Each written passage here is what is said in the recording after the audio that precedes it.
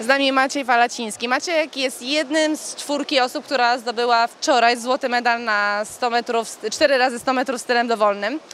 Tak naprawdę mistrz Europy Poznań 2013.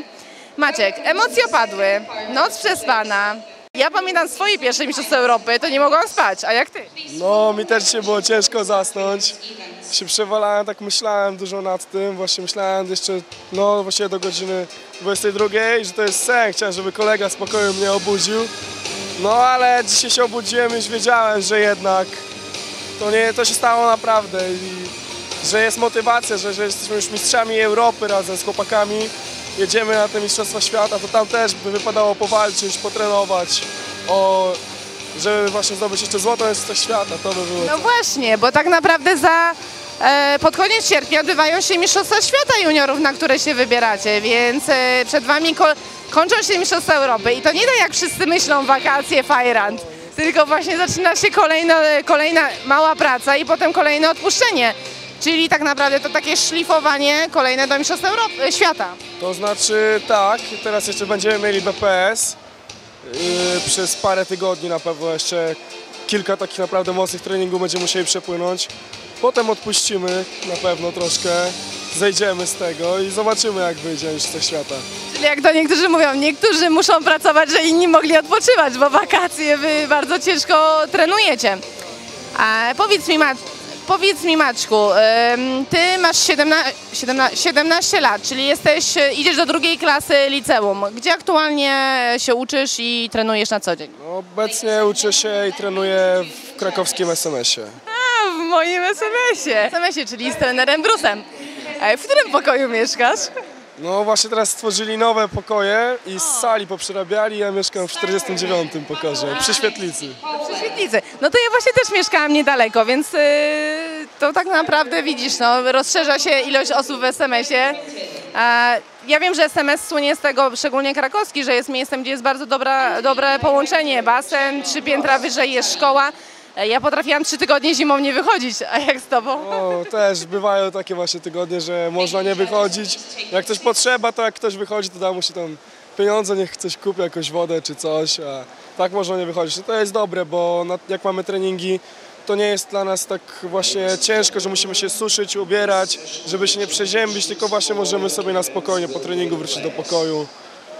A jak Kraków? Kraków, no bardzo ładne miasto, nie ma co mówić. To jest dużo zabytków, różne właśnie jakieś takie, można odpocząć. Jak ja z małej miejscowości Zełku pochodzę, no to tam było jedno kino takie stare, a tutaj ja idę do galerii, patrzę o kino tu, kino tam, właśnie można. Właśnie, właśnie to jest fajne w Krakowie, że się tworzy taka atmosfera, bo liceum jest, y, nie ma tam dużo osób, nie? Więc tak naprawdę ten internat jest mały, tworzy się jedną wielką rodzinę. Czy tym razem też jest jedna wielka rodzina? Tak, jest. Właśnie jest taki klimat rodzinny, bo jak przyszedłem, byłem trochę zagubiony, ale właśnie szybko się odnalazłem, dużo znajomych też znalazłem tam. Właśnie jakoś przyjęli mnie tak serdecznie, tak rodzinnie właśnie. Nie ma takiej jakiejś zazdrości, zawiści, nic takiego, tylko jest właśnie przyjemnie wszystko. Czy robicie psik- psikusy paniom, które pilnują wieczorami, bo my to robiliśmy niezłe, chyba nie, że wspominają nasze roczniki. Znaczy, no tam psikusy nie, ale czasem jakieś problemy tam się zdarzą, ale to takie malutkie tylko. Jakieś takie drobne, śmieszne właśnie żarty czasem. E, z kim masz polski? Y, Z panią dyrektor Cimińską. A, czyli nowa nauczycielka. Ja pamiętam, że miałam z taką, no ja miałam z panią Paliszek, to Fok z panią Faliszek przez pół roku, ale bardzo dobrze wspominam. Ja też wspominam, e, bardzo dobrze umiałam, e, bardzo, bardzo dobrze wspominam te lata, bo naprawdę ta nauka w Krakowie to jest na najwyższym poziomie. No tak, tak. Nauka akurat jest też właśnie, można pogodzić dobrze się uczyć i dobrze też potrenować. Bo no, ciężko jest, ale jak się postarać, to da radę tam wszystko.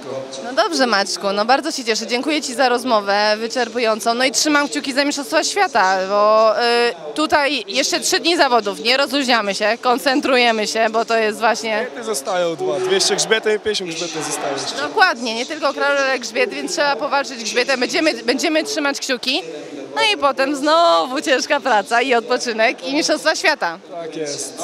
Właśnie to, o to chodzi, ale to jak ktoś to lubi, to trzeba to robić jednak. A powiedz mi właśnie, bo to są Twoje pierwsze Mistrzostwa Europy. No i e, jak oceniasz swój stres przestartowy? Czy jest duży, mały, czy ta impreza cię tak przytłoczyła? Stres był przed pierwszym startem, był stres w sumie tak jak na zwykłych zawodach, bo pamiętam jak miałem pierwszy start na EOF-ie dwa lata temu, to też już taka pierwsza duża impreza, to tam był stres niesamowity, zżarło mnie tak, że ledwo co do finału się dostałem, ale potem już w finale na spokojnej głowie podszedłem, ale jak wychodziłem, to nogi się trzęsły trochę. No to właśnie, to jest to budowanie doświadczenia i mam nadzieję, że niedługo e, będziemy widzieć Cię na imprezach seniorowskich. Trzymamy za to kciuki, żeby się Twoja kariera rozwijała jak najlepiej, a dzisiaj trzymamy kciuki za pozostałe trzy dni, czyli za grzbiet i Mistrzostwa Świata.